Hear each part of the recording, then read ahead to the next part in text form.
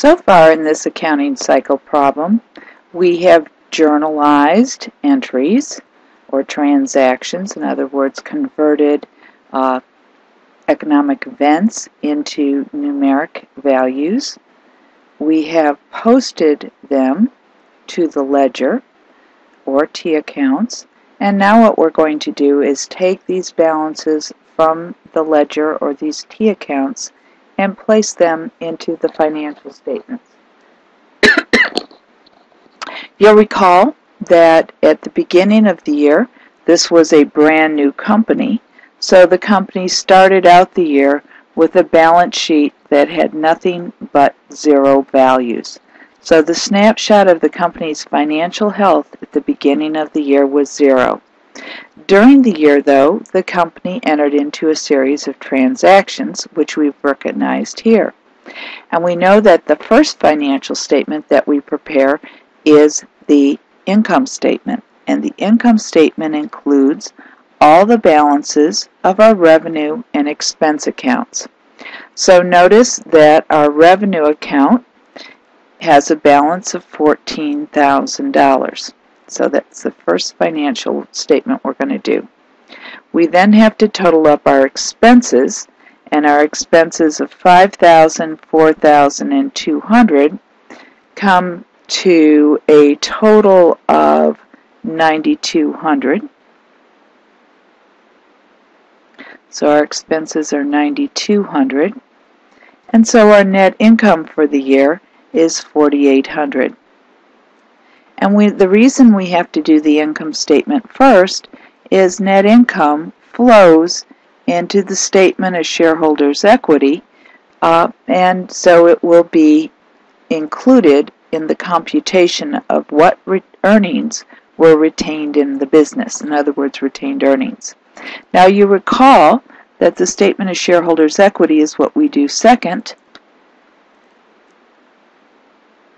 and retained earnings is 90 is $4800 and that both of these both contributed capital and retained earnings at the beginning of the year were zero because it was a brand new company.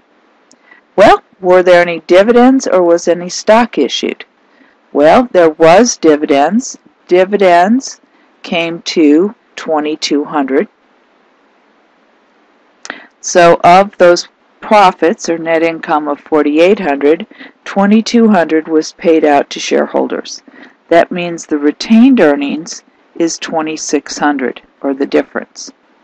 So on the ending balance sheet we're going to show an ending balance in retained earnings of 2600 looking at contributed capital or the capital stock account notice that during the year we issued $12,000 of stock.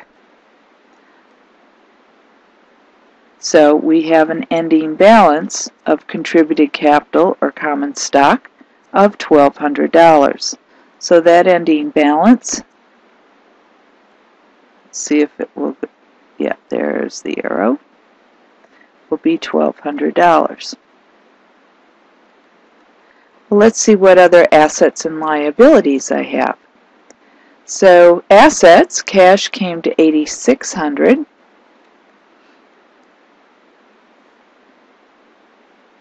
Accounts receivables 4000 land is 7000 so accounts receivable 4000 property plant equipment is 7000 so adding those all together, notice that I have total assets of 19,600. That means that liabilities plus shareholders' equity also has to be 19,600. Well, let's see what liabilities I had. I only had one liability. It was the long-term notes payable of $5,000. So my long-term notes payable is 5000 I had no current liabilities. So, does 5000 plus 12000 plus 2600 also equal total assets of 19,600? And it does. So the balance sheet at the end of the year, at that moment in time, balances. Well, what are we going to do about the cash flow statement? Because that's the final statement that we're going to prepare. Well, we know that we began the year with a cash balance of zero because it was a brand new company. And we know we ended the year with a cash balance of 8600 So the change in cash during the year was cash increased $8,600. Well, how much of that increase came from operating, investing, and financing activities? Well, looking back at our cash account, looking for the O's, I can see that operating cash inflows were 10,000 and cash outflows were 5,000 and 4,000, which netted to a cash inflow of $1,000 from operating activities.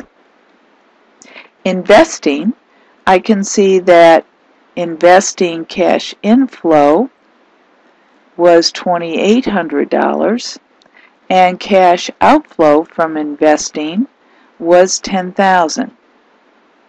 So netting those two, there was a net cash outflow of $7,200. So I'll put that in brackets since more cash flowed out than flowed in. And finally, financing. I can see that financing flowed in for 12,000 and 5,000, so a total cash inflow of $17,000 and a cash outflow of 2,200 for the dividends. So 17,000 minus 2,200 is a net cash inflow from financing activities of 14,800. And I could have found that anyway just because I know where I'm headed as far as what the change in cash is. And you know what? This all comes out beautifully. So remember, when you do financial statements from information in your accounts, you always prepare the income statement first, the statement of shareholders' equity or retained earnings second, the balance sheet third, and finally the statement of cash flows.